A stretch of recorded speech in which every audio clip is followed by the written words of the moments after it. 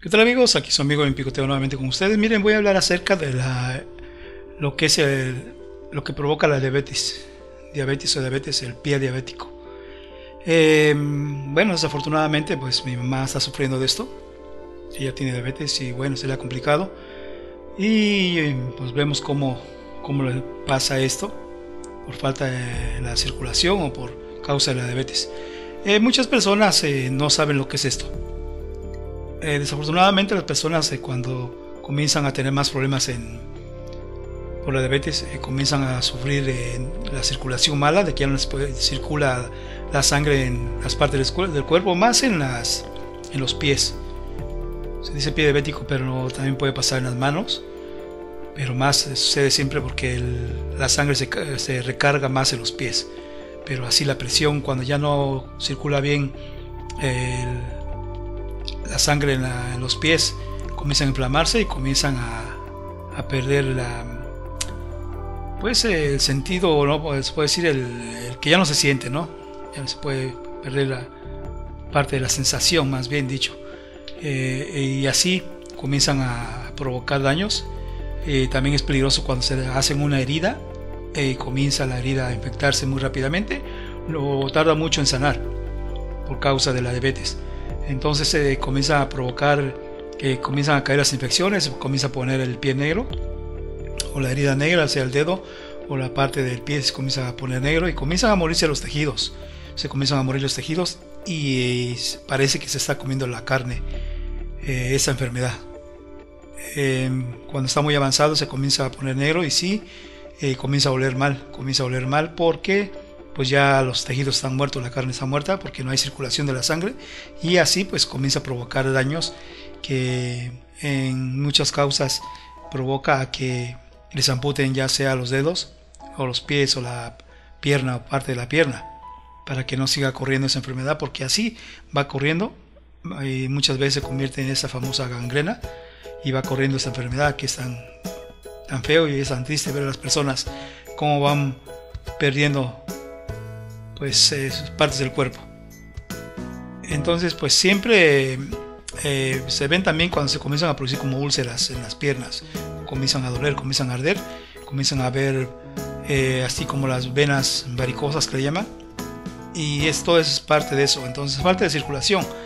se recomienda siempre tenga muy buen aseo en la herida, se lave todos los días muy bien y así se seque, se seque muy bien, para que así pues no venga la infección fuerte. Aparte de los antibióticos, antibióticos que los doctores recomienden y pues todas las medicinas para, para que tomen. Es muy indispensable. De remedios caseros, de cosas naturales, se puede, se puede poner la, la sábila cuando se, se, lave bien, se puede poner la sábila en la herida y así eh, la sábila hará que comience a, sanar y comience así a esa herida a cicatrizar es algo que es muy bueno. También se recomienda tomar vitamina C y también tomar jugo de zanahoria. Jugo de zanahoria y aparte la avena es muy buena. La parte es muy buena para eso también, para que comience a sanar y a cicatrizar. Eh, un amigo me decía de un remedio, un remedio que dice que se, los frijoles negros se, se tuestan bien, se ponen a tostar y se machacan bien o se muelen, así que se hagan polvo y se le pone en la herida a la persona, pero primeramente se le tiene que hacer el aseo, el lavado bien y después eh, se le pone en la herida, donde está la herida. Se le pone en la herida ahí donde esté el daño, no dije donde está la herida, en la herida se le pone donde está el daño y ese polvo de frijol o el frijol molido que es muy bueno, que comienza a cicatrizar porque contiene algo que es bueno para la cicatrización de esta, este problema del pie diabético. ¿Sí? Entonces hay que tener mucho cuidado con esta mucha limpieza porque rápidamente comienza a, provocar infección en las personas que sufren diabetes, en las personas que están sufriendo de pie diabético o que están sufriendo daños en las manos también, en las piernas. Entonces amigos tengan mucho cuidado con esto. Recuerden siempre hacer ejercicio, caminar y traten de eliminar los azúcares, las harinas, las grasas, porque de ahí se viene la diabetes. Aparte de que las, personas que tienen familiares diabéticos pues tienen más posibilidades de, padecer esto por eh, el historial médico, por que la familia ha padecido de esto. Entonces hay que tener cuidado, hay que cuidar su alimentación, hay que hacer ejercicio y siempre que el médico les revise cualquier herida que vean que no sana rápidamente, vayan a su médico para que les examine y bueno, entonces amigos, pues tengan mucho cuidado con esto porque desafortunadamente, pues yo he visto personas, he visto personas eh, que han fallecido de esto. Eh, pues yo una vez vi una persona que le estaban haciendo en el hospital, estaban haciendo como un raspado en la, en la parte de la pierna, donde tenía todo negro y la señora gritaba muy feo.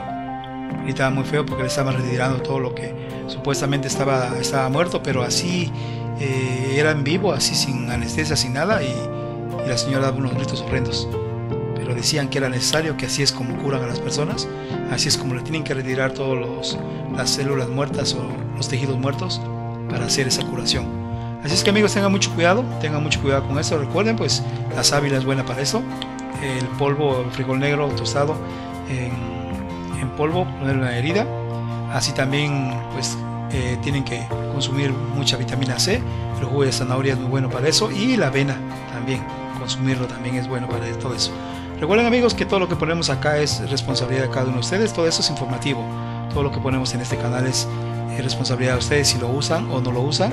Eh, hay que hacer todo responsable, todo esto es ah, alternativo, eso no hace que ustedes dejen de visitar a su médico ni que retiren sus medicinas. Así que amigos tengan mucho cuidado con esto, tengan mucho cuidado las personas que tienen historial médico de diabetes en la familia, tengan mucho cuidado para que no se vayan a dañar ustedes mismos.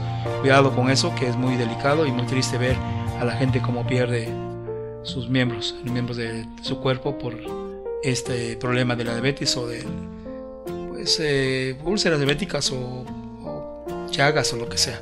Cuidado amigos cuando se corten una uña del pie, háganlo con mucho cuidado o, vayan con alguien que sea especialista en, en los pies para que así les haga curaciones o les corte los pies o, o algún callito que tengan o alguna cosa que tengan en los pies. Cuidado amigos, un abrazo amigos en Picoteo, aquí con ustedes, gracias por estar conmigo, un abrazo, que Dios los bendiga y cuiden mucho a las personas que tienen diabetes, no los abandonen, no los dejen, eh, pues traten de tener mucha limpieza, mucho aseo y, y mucha comprensión, mucho amor, porque mucha gente se deprime por este problema que es tan serio. Cuidado amigos, bye bye.